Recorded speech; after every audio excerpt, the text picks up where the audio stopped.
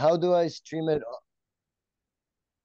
Um, there should be, there should be something at the bottom that allows you to record as well, or I'll be uploading this to YouTube after, so I can always just send you the link to whatever works for you. Great, great. Okay. Um, yes. So we'll we'll get about so, we'll get about 35 minutes per Zoom recording here, and then if it runs out, uh, I'll just reset up another one and just come back in after. Okay, guys. Okay, Wonderful. so welcome. Uh, my name is David, and I'm a freedom fighter, freedom warrior for about three years now in Canada. Um, I was uh, I I ran away from the Polish communist, uh, sorry, Soviet communist regime from Poland as a child with my parents through the border illegally. As it got so bad that uh, you know, from 1980 to 89 was martial law uh, was police hour, was daily ratings and beatings and arrests, and uh, and um, not allowed to meet with more than two, three people at a time. Um, like I say, daily brutal beatings, clashes with the police and the people, and uh, no toilet paper, no food, basically running for freedom. And now we see the same regime, but now I see a blend between communism and fascism at once, creeping up on Canada. And I have a child that was born is a born citizen. You know, I'm I'm. Some people call me that I am a foreign national because I was born somewhere else, even though I'm a citizen of Canada for 34 years or so.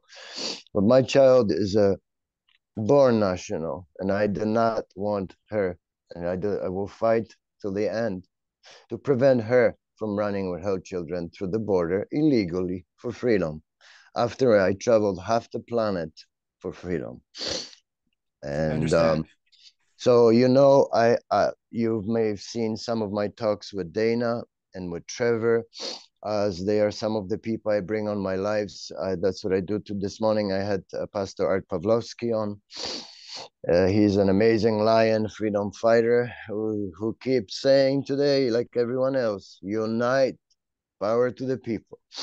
You know, um, and I also am a, um, a member of uh, several tribe councils of our First Nations in Canada, as I'm trying to help the tribes unite, and also to get as many of them on our side in the freedom movement before we return to Ottawa as we're gathering people, we're literally traveling the nation.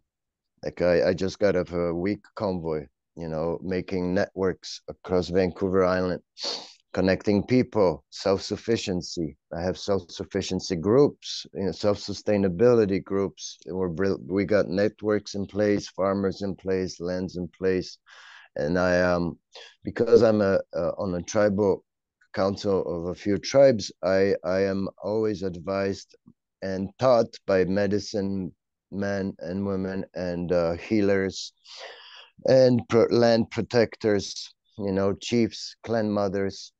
I was given a clan, name by clan mother, Mohihikan, Golden Wolf. And so I, I work with everybody within the freedom movement, with all the people, for the people, by the people. It must be this way. The government has to be basically taken down apart and rebuilt because it is for the people, by the people, and it should be and it will be again. So now we're facing problems. Everyone is. We're seeing more and more people approach us as we travel around spreading the word, as everyone is receiving these letters and emails from the banks that we have to claim you know, agree to a digital agreement, new digital agreement with no option to decline. So I said no to TD Canada Trust, my bank of 30 years or so. Um, so I'll be able to have an account, but I will be able not to use my card anywhere. I will not be able to use online banking. I'll be able to go into the bank and do my banking, which is two hour away trip from my little island anyhow. To do that, um, I choose not to obey. We are now faced with the choice of doing the taking the easy way or or take doing the right thing.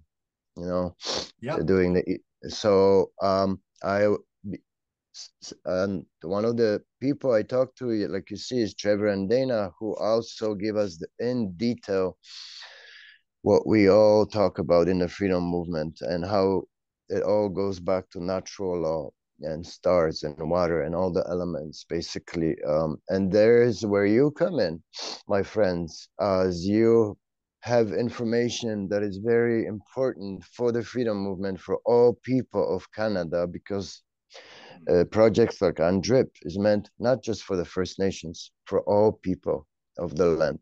So you guys, I heard, have amazing information on how to deal with the digital banking, how to deal with doing or not doing taxes and contributing with our tax money to these wars that Trudeau is sending money to, which is, in my opinion, is not a war, it's a money factory.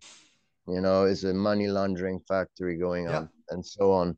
Um so and, and also so, so, how to become a sovereign being as the first child NBC was born as a sovereign being recently with an indigenous name we want to follow and lead by example so thank you guys for having me and and please share what you have i have a little notepad and paper here i will be taking notes even though you're recording just for my own information to share with people who need. Like, you know, Trevor is on the run as we speak. Yes. They won't even let me post an audio uh, recording he sent me about a very suspicious police activity happening in Alberta right now, as they are arresting freedom fighters and priests all over the place. Um, so he is on the run because he helps homeless people basically and be believes in God and the creator and is a freedom fighter uh, with a voice they want to shut down. Like me, I was in Facebook jail 14 times. I ended up on a list. Police called me up of people with high potential to cause harm, like our doctors. So they're trying to shut me down, about to be in Facebook jail for 15 t- time. And the police keeps harassing me, right? So the floor is yours. yeah. Well, the I want to say yours thank you so much for talking with us. Um, I'll introduce myself. I'm Marcel, the family Bessette. Um, I found private law and sovereignty uh, through a personal claim of right, as well as founding your own sovereign society in 2009. Um, I have a background as a sales consultant, so I just studied all the different experts out there at the time. Everyone had a part of the answer. Um, so my goal was just to find all the answers, do it myself, prove if it worked or not, uh, by about the second or third year into this, um, we figured out how to get the sovereign bank accounts. It's defined as outside the country. It's unregistered, unincorporated. It acknowledges your rights, and the paperwork uh, that you do to found your society and claim your rights is all you need in order to open the account. Um, and uh, and then we also have a sovereign identity document here uh, that I'll show you guys. It's actually a lawyer attesting. It's a lawyer notary uh, who does an identity document attesting to you standing under your own law in your own society as opposed to legality. Um, so when we figured out the bank account side of it, um, I started having uh, Dames of Justice from Knights of Jerusalem, ex senators. I met Penrose Dominique. She's a priestess from Haiti, uh, considered royalty pretty much. Um, I met Popoy, people of the Salmon, Jacqueline Stump of the Chakotay Nation. Uh, David Harper, the Grand Chief of the Cree Nation, taught us how to do um, private law indigenous courts or sovereign courts that outrank legal code. It's a superior foreign jurisdictional judgment. Uh, we can all use that once you have your own societies to hold judges accountable those judgments get entered into the legal court clerk and then the clerk and the judge have 30 days to enforce it. If they don't they can be arrested by the legal system. I have a client named robert ritzman. He had the fbi arrest a judge and 30 attorneys because uh, they're committing securities fraud uh, so how to audit the courts do those processes against them. Um, when you do your society you get a fee schedule. So as an equal an order cannot give an order to another equal. Everything has to be offers so you become a contract for hire. So if any agent gives you an order that makes them liable for your bill. Uh, we also understand how to notice them of willful negligence, which means they're doing something incompetent. You notice them and they keep doing it anyway, be it police or whoever. It removes their insurance bond and makes that agent fully liable financially and in private law and legal code.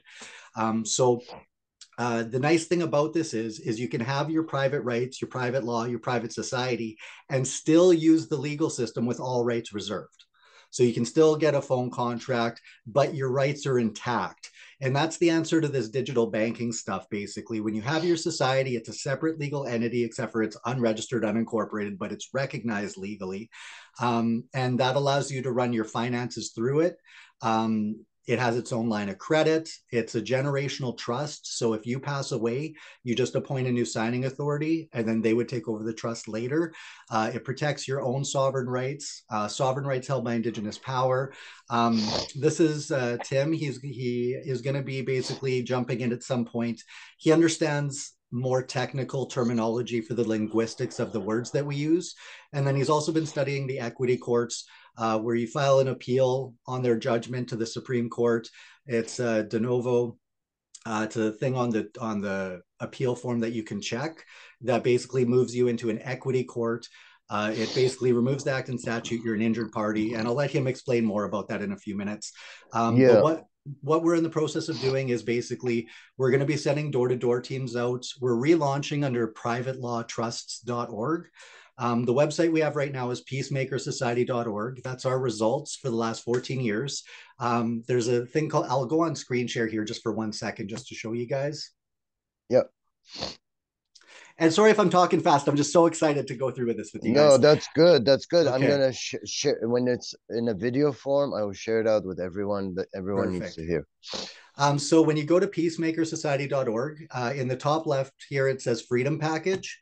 So if you click that, uh, we actually have uh, we had 44 people with master's degree and all the things that we've done canada as a corporation how not to contract how to an independent contractor agreement so if you hire anyone or you have a group if anyone false flags you or does anything they're not supposed to you are not liable for them um, okay. There's a banking administrative process for debt. That's how you qualify under your society is there. Go through that. And then if you go to the bottom of the website here, we have an online teaching course. It's all rights and then it's like process eight. Eight makes you it for four headings to pop up here. One second.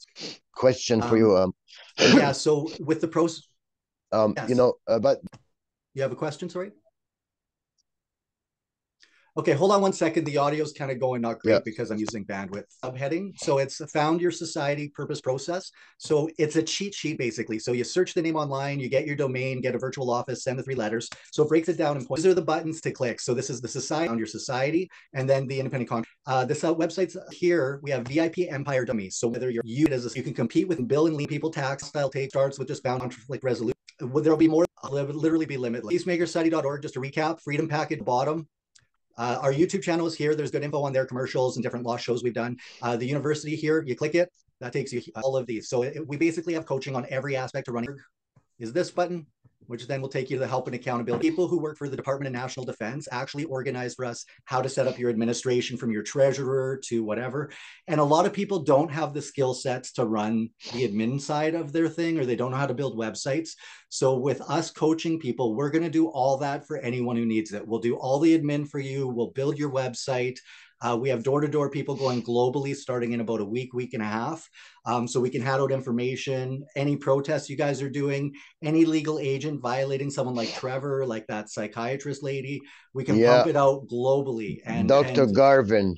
Yes, and that's where we can apply pressure to them in every single way possible. So basically, Peacemaker Society here is the results for 14 years. Uh, we're giving out, this is what we're giving out door to door freedom tickets. So, hi, we're giving away your free freedom ticket. We have information. Three letters reclaims your rights. Turns out you sold your kid when you got a birth certificate. Three letters gets you title back, gets you out of income well, tax, all of that. You know, this brings me right to a question. A lady asked me last last night. She said, you know, that she really respects what I talk about and the wisdom shared. She's asked me, when I have a child at birth, does it become when and I when you sign that child and sign that birth, certi- birth certificate, does it mean for her that that child now belongs to the government?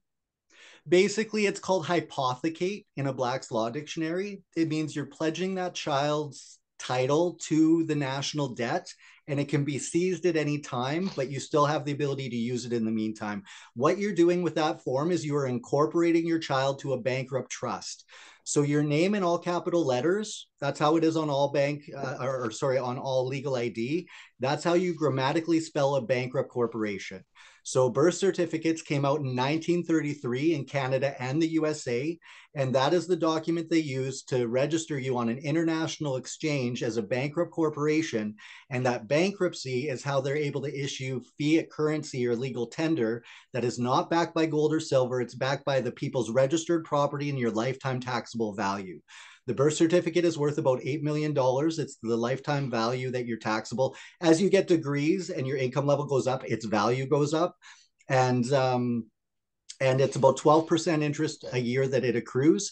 That's what pays it for everything. Everyone thinks income tax pays for stuff. It doesn't. Uh, it's the federal transfer payments are off of the uh, the insurance from the birth certificate bond, and all of that is referenced for all the naysayers out there. It's 1985 Canadian Ownership Control and Determination Act. Um, we actually have a copy of that act in the information we give out as well. Um, there's a package that I send everyone when they enroll. Um, here, hold on. Uh, this is what we do at live events. Uh, I have a video up where we have about 30 people come out and we open societies for them in about two or three hours. So all wow. the all the information is in this and we have it digitally. I can email it to anyone and it's also in the freedom package in that as well. That's great. Uh, that's going to go around everywhere. And it reminds me of a little bit of what Ladies at Stanford they are doing in Ottawa and, and uh, the Canadian Democratic Defense Association, which I am part of, and the Democratic Fund. Uh, trying to help, but you guys are really deep into that. Uh, so, you know, I want to ask you a basic question. A lot of people that have that same question How do I claim myself as a sovereign being. Perfect. Um, so it's three letters. Uh, the the first thing you're going to do is you're going to figure out what to call your society. So I love trees society. I love my family. Trudeau for treason. Whatever you want it to be. Um, and then basically there's three letters that you found. So how we you people always hear due process. But what is that? So, as an equal, we cannot give an order to another equal. We can only make offers and cure rights as per due process. So, that's three letters. Letter one, we ask questions. So, that's the notice of understanding, is letter one. So, we just say, let's say there, let's say you and I are neighbors, David, or, and there's a ball in the yard. We don't know whose ball it is, and I want to use that ball. So, I send you letter one and say, Hi, neighbor you know, there's a ball in the yard. Do you mind if I use it? I believe I have the right to use it, you know, and, uh, you know, do you think I'm a good guy? Do you like me? If I do use it, are we going to get in a fight? You know, is it yeah, yours? Yeah. Is it your wife's? So I send letter one. They have 10 days to answer. So you have 10 days to answer. Silence is consent. So as far as this example goes, when we're doing this to the corporation posing in fraud as government, um, they never answer us back in 14 years and silence is consent. So I send you letter one, you don't answer. After 10 business days, I send letter two. Now this is a notice, this is the understanding and intent. So now I put my intent in there. So I answer the question. So there's a ball in the yard. Can I use it? I answer it yes. You know, I'm your neighbor. Do you love me? Yes, I think you're a great guy. You put in whatever answers you want, and we mail letter two. So in letter two, I just say, Hi, neighbor. You didn't answer letter one. I'm sending you letter two. If you don't answer in 10 days, the answers I've listed will count as your answers, that you're in agreement. So 10 days goes by, you don't answer. I now have an understanding between equals because questions were asked and then answered. And now I'm claiming the right. So the third letter is a claim of right. Uh, I send that, and then it takes 30 days to cure as law. On day 31, if you don't answer, that ball becomes mine under private law. I can now have private security protected and it's defensive property in the Criminal Code of Canada, uh, defensive property with claim of right. And it just says that you and anyone employed by you is not criminally liable for defending any property held under claim of right, even against legal agents entitled to possess it. And it says right under it, without claim of right, you have no right to defend anything. so it's equal force and all of that. Um, but that's the actual act and statute that references it. And I have a copy of it. They've amended it so that the claim of right isn't available online now, but you get a copy of that in the course basically. And then there's two other documents. There's a creation of society document, which is just what you're calling your society. and then there's there's your society oath. So the oath is just to cause no harm. So you can either just swear no harm, or if you have a belief in the creator or religion, it's whatever that means to you. Uh, but it just says you will not cause harm to life, liberty, property, or rights, and no fraud in contract. And that is the actual law of the land. Everything else is a derivative of that. Um, and people say act and statute is law. It isn't. Act and statute is corporate rules given force of law only if there's a valid contract. And because every legal agreement is written in legalese, it all means something else. So there's no meeting of the mind. So in contract law, there's not one valid legal contract, and you have no obligation to a fraud. So this this three letters that you do forms a valid lawful understanding and agreement. It gives you diplomatic status with diplomatic immunity. You tell them to do a, a political status determination when they go to act on you. Um, they're willfully negligent. They're liable. Um, yeah, and I think I answered your question there. So it's three letters and then the oath and a creation of society document. Um, and that gives you title back to everything. The 1925 Administration of Estates Act says a competent heir can reclaim dominion over anything held in a bankrupt trust. And Canada and the USA, as corporations posing as government, have been bankrupt since 1933. Before that, you had gold and silver backing money.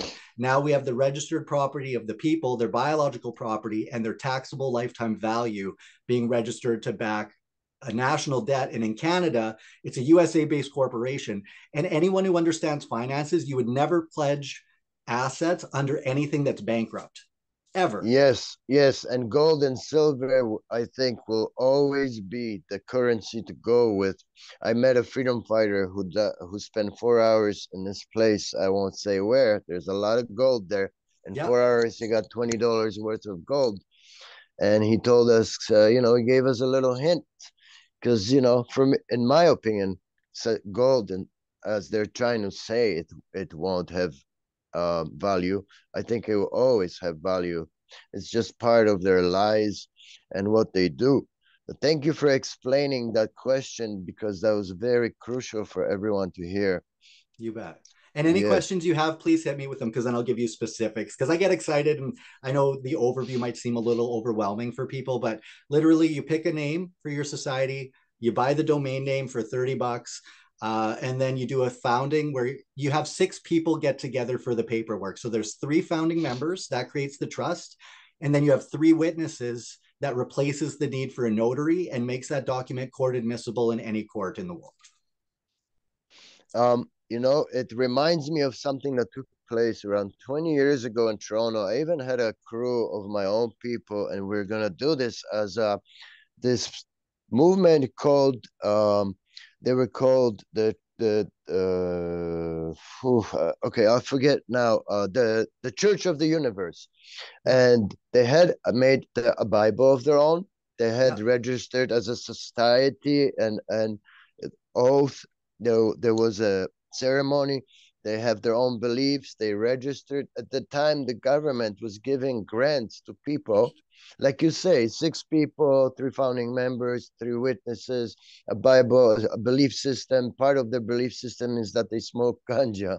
Yeah. And I actually had a friend who had nothing to do with it, just become a member. I had saw the card. It said Brother Greg you know, just so he could get weed for them. For sure. you know, 20 years ago and they were actually doing that. We almost did that with my crew of friends. It reminds me of something similar. Uh, one thing I want to touch on is everyone's used to registering, submitting, or applying because that's what all, all documents are. But those are all forms of begging. As an equal, you don't register, submit, or apply, you record. You want to record your rights and title, and that's that three letter process that you use to claim your society. That's how you notice anyone and record anyone to have your rights. Also, with uh, property, when you buy it legally, that's the process you use to claim dominion over it under private law, so it cannot be taken from you. Um, yeah. And and if you do have to fill out a registration form, you sign all rights reserved beside your name. So your signature okay. and then all rights reserved. Once you have your society, I do all rights reserved peacemaker society law, but you could put all rights reserved under God, all rights reserved under Allah, all rights, just as long as you have all rights reserved, like you always see in yeah, movies, that's a, part of your signature it's now. Important. It's important. I used to be a yeah. musician, and you we used to have to do that as musicians. Um, uh, I do have a few yeah. questions for you guys that hopefully, Please. because there's a lot of people confused and afraid, right? And the yes. freedom movement, or people who are on the fence, let's say. Um, you know, people in Canada are not are not as brave as you see what's going on around the world in Europe right now, for True. example. So for one thing, land use bylaws. There's new land use bylaws coming. Uh, you know, not just UNDRIP and this huge attempt of a gr land grab. I because I am um, in touch with our First Nations people, I know that right now police is moving in on the Wet'suwet'en territories in Prince George, BC, uh, without the consent, without authority, because the governing council of the Indian Act has given the lands away, and there's some crooked tribes and chiefs out there who are doing it and have been falsifying papers for years, claiming different positions, and uh, they are, you know, working with UN and UNDRIP. And same thing is now happening in northern Alberta. Native lands were invaded because they want to push pipelines through it and yeah. same thing they did to the homeless people in Vancouver. They just dumped everything of theirs in the dump and chased them away by force into yeah. I don't know where. So now also we here where I live on Denman Island, land use bylaws, enforcement bylaws are very harsh. Housing is very scarce and it, people are living with daily stress nonstop. And even people have to understand, maybe you can explain to them on bylaws, how important it is to look into your local bylaws and stand up for your rights. Because if you really look into it, you, they it shows you that you think you own a house and you think you own a land, but you do not. As soon as you need to do anything, you need a permit and you have to abide by these enforcement bylaws. Yes.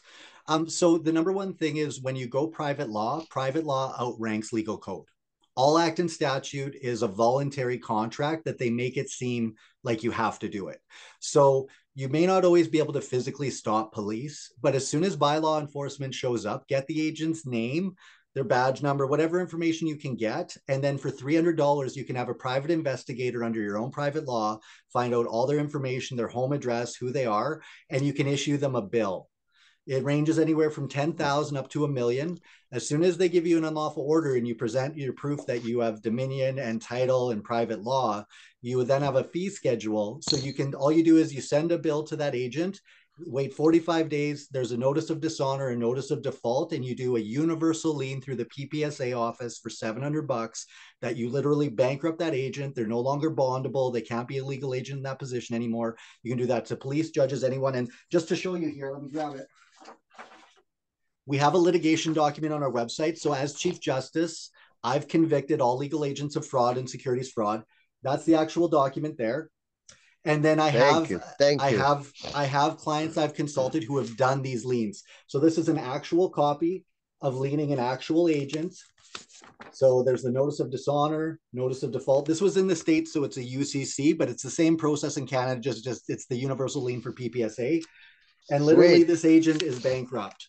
You have a superior claim to all of their property, all of their assets. Now, you may not get paid that because a lot of it, but it's a way to lawfully throw a punch and ruin that person's life. Like yes. you, you, their credit's gone, their mortgage is going to default, their wife's probably going to leave them, right? Um, and then, well, thank you for what you do, brother. You bet. Thank you. Um, and then also, um, just as far as I, I, have a criminal defense lawyer named Mike Cook, in 2014, they put me on Winnipeg Top 10 Most Wanted uh, when I was billing the police cadets. Um, and he actually reserved my rights in court. So I was able to stand under my own society law, uh, my own oath. The judge, I had two judges, Judge Corn and Judge Garrick, acknowledge our jurisdiction and that they understood what we were doing. Um, and that's where uh, we only have five minutes left in this segment before it's going to cut out. Um, so yeah. maybe what we'll do is I'll just finish talking on this a little bit and then we'll come back to segment two. And then I'm going to let Tim talk here um, because he has a lot of understanding on terminology, uh, being a signatory Indian, um, some other terms you can use, how to move the court from from act and statute into equity court where they're liable with you as an injured party. And I think because we're kind of on this subject right now, it's a good segue into what he comprehends. Yes. And then yes. and then once he gives you his, he'll probably take a few minutes. Uh, so we'll do a chunk of that segment. If we wind up running out of time there, we can do a third segment again. Um, but I think that's probably I have a, a good... I have a couple more questions. But yeah, we have great. four minutes fifty seconds. Go ahead, you bet. Is is it is it Tim? Is Eagle Eye. Tim? Eagle Eye, Eagle Eye. I have seen you around. Um, we we will jump into that subject when we run out of time, but um, just so you know, I I have been active with our First Nations people ever since they defied and took the Law Lodge down. Okay, in in Winnipeg, I am a Cificos warrior, okay, and and and uh, so there's a lot of uh, information that I think you have that that not only us, the freedom fighters, and all people of the land need to know about, but that will also go to our people you know, of the Thunderbird Band and our Broken Head Band of the Edmonton Edmonton Cree First Nations, like Cificos and her people, because it is very important as they try to reclaim their rights in their lands. You know, uh, they they they they are planning on coming back, of course, and reclaiming their lands and put, putting up the law lodge all up again uh, of course, but because the government has failed to prove still that they are invading illegally. Because what, what one thing yeah. I'll add there is is we we're all told that the, the the powers that be are a government, no corporation can be a government. It's in the limitation of powers of the Corporations Act that as soon as you incorporate, you descend to the level of a mere corporation. And the reason that is, is because they're limited liability commercially, which means they're commercially incompetent. So to be a government, you have to be fully commercially liable at all times under oath or attestation under penalty of perjury at all times and you have to be unregistered unincorporated so they're an administrative governing body but they are not actually a de jure government by process at all. And these are again the things that uh, the, the paperwork that we teach and have for you guys is the foundation. It's sovereign rights held by indigenous power. This paperwork gives you the bottom foundation to law that all law is built on. So, no matter what act or statute someone's coming at you with, you whip out this paperwork in this process, and automatically you outrank them as long as you're not causing harm in a proactive mm-hmm. way. Self-defense, you can still defend yourself, of course. Um, but yes, you're right. And and a lot of people are used to either having a chief or in the states they have the constitution, someone else acting as power of attorney for you. You can still belong to a constitution or a tribe or a clan or a society, but with this, your trust your paperwork still protects you. So if ever someone else were to mismanage something, your assets are safe. Same thing if you're a man or woman and you get married and then divorced, the trust is a separate legal entity, or well, private law entity that's legally recognized that nobody can take it. It doesn't matter if you yeah. go bankrupt, none of it. This, this is the foundation of everything for all freedom fighters who want to fight back. This is what you do, and they're not a real government, and that's why you don't want to vote for them. You record your own rights and title and that's what this process is. Uh, we have a minute yep. and a half left. So okay, is, is well, that's why we want to deviate from the Indian Act, and we want to deviate yes. from UNDRIP. As uh, yes. I already am uh, on to some people in our country, I've shaken hands with and looked them in the eyes on purpose because I know who they are. The the fake chiefs that are selling off lands without authority. I'll talk to you in private about some of these things. Sure. But I look and forward to to the next segment in a minute. You bet. And the last thing I'll leave people with is a lot of. Uh, I was doing some work with Popoy and people of the Salmon. I was invited in yes. to be a Wolverine Clan member, and uh, I love what they're doing. But in one of the meetings, we we had a central banker on who was talking about taking them in a digital currency direction. What all First Nations need to understand, and anybody needs to understand, is once you go private law, you can back your own currency and any yes. commodity can back currency from trees to land. In the USA back in the day, they had greenbacks that were backed by marijuana. Um, you can have it backed by gold. You can have it backed by silver. And as long as you can take that piece of paper, like Canadian Tire dollars, right, and take it somewhere and get something for it, it has value. Another thing yeah, is we well, teach you how to set up an honor credit. So if you provide service to somebody, you can just keep a credit on your books for them as well. So um, we're going to get yeah. cut off right away here, um, but we'll yeah. we'll pick this up. Yeah, well, the Salmon people are doing great things, but oh, you have are. to I love look them. underneath. You have to look underneath